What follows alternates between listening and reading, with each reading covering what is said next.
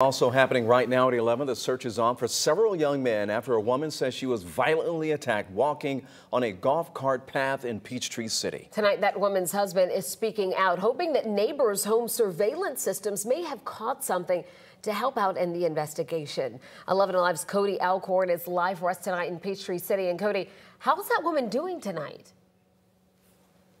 Well, Jennifer, she's still shaken up. In fact, she's having to go to counseling due to the trauma she experienced. Now, while she was not ready to talk about the attack herself, her husband just wants these men caught.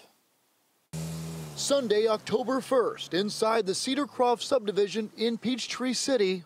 She got home between 6 and 7 and uh, took the dogs out. Martin Saunders says as his wife was walking their dogs on the golf cart path near their home, all of a sudden, there was a golf cart coming towards her. It had about six older teenagers on it, uh, guys, and two of them were hanging off the side. Saunders says his wife gestured for them to slow down. She's a New Yorker, and if you're pummeling down a golf cart trail and you're teenagers and you're trying to walk your dogs and you're scared they're going to eat your dogs. She's not scared of yelling out, slow down. Yeah, one of them grabbed her by the hair and they dragged her for a bit. She got cut up pretty bad. Her jeans were ripped, um, bleeding. While face down, she said one of them touched her inappropriately all over. And then the driver apparently yelled out, just shoot her. Fortunately, they didn't. Now Saunders is worried. His wife's alleged attackers may get away with it. The police haven't been able to uncover anything yet. It's almost like it didn't happen, and it's very traumatizing for my wife.